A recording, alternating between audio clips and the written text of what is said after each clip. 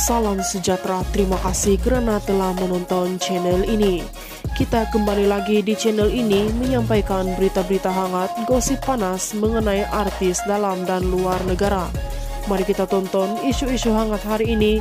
Jangan lupa tekan like, share, dan subscribe.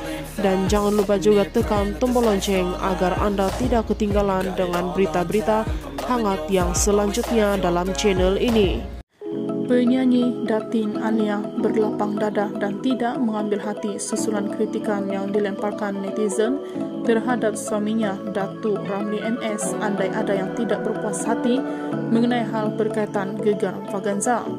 Meski ada sesetengah komen yang disifatkan melampau, namun menurut Alia, dia sebelumnya tidak mahu mengambil pusing.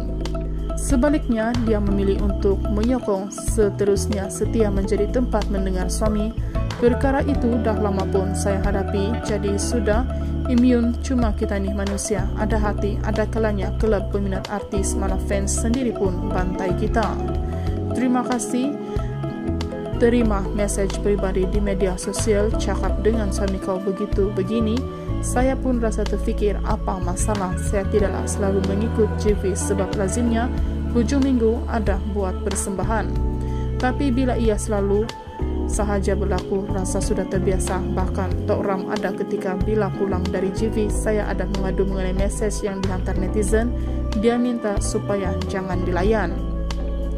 Kata Tok mereka tidak tahu pun kisah di sebalik apa yang terjadi secara keseluruhan.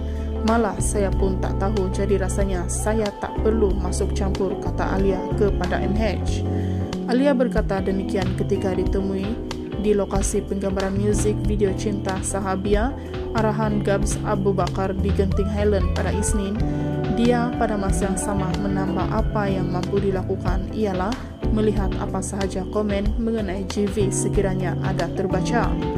Tapi memang ada betulnya untuk menjawab soalan netizen atau nak mencampuri hal orang lain bukan urusan saya pun cuma kalau ada netizen beritahu saya baca dan dengar sahaja. Memang ada yang marah dan maki-maki, tapi tak mengapalah. Kadang-kadang kalau kita nak berdebat dengan orang ni tak akan habis begitu setiap kali tiba musim GV katanya lagi.